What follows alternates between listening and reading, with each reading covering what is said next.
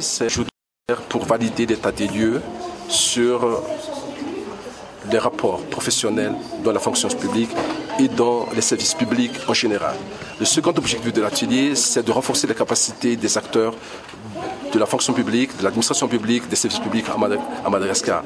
Cet atelier, comme vous voyez, euh, euh, auquel participent à la fois les différents responsables de l'État au niveau des différents ministères de l'Assemblée nationale, de la primature, de la présidence, euh, et aussi les responsables syndicaux dans la fonction publique euh, pourrait justement être un atelier qui nous permet à la fois de, valider l'état des lieux dans la fonction publique aujourd'hui, dans l'administration publique en général, et surtout de préparer le, le chemin, préparer la route pour que Madagascar puisse ratifier dans un avenir proche comme dans d'autres pays dans le monde, la Convention 151 qui régit les rapports professionnels entre les travailleurs de la fonction publique, de l'administration publique, des services publics en, général et l'État à travers justement les ministères euh, et les différentes unités de l'État.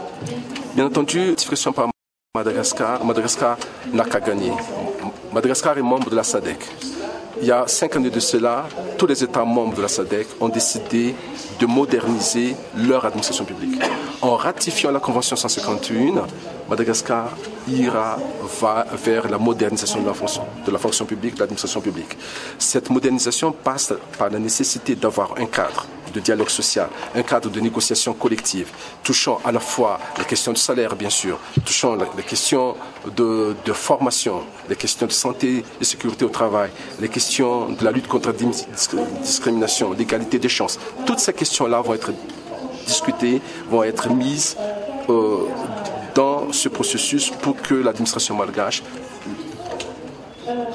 le service public de manière générale, puisse être plus proche des besoins et des attentes de la population. Et ce qui est important, c'est que souvent, quand on, en, parle de l'amélioration des conditions de travail, on pense directement au privé. On pense rarement aussi aux services publics. Les services publics, il ne faudrait pas oublier, c'est à la fois des services publics au niveau national, mais aussi au niveau décentralisé, notamment au niveau des communes, notamment au niveau des cantons. Donc, euh, nous pensons qu'à travers la ratification de la Convention 151, Madagascar puisse se doter se doter d'un outil très performant pour pouvoir amorcer, accompagner la réforme de l'administration malgache.